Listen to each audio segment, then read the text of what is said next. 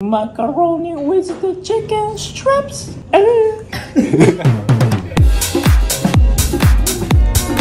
Good coffee. It's time for sushi making class. I like it. It's decent. Big Zup, nigga. Oh my.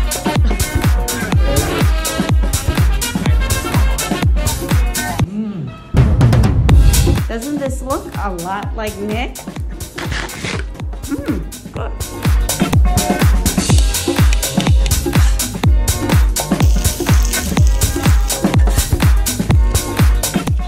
Too eggy, not enough cabbage. I don't know what this means. Ice cream with Oreos on top. It's awful.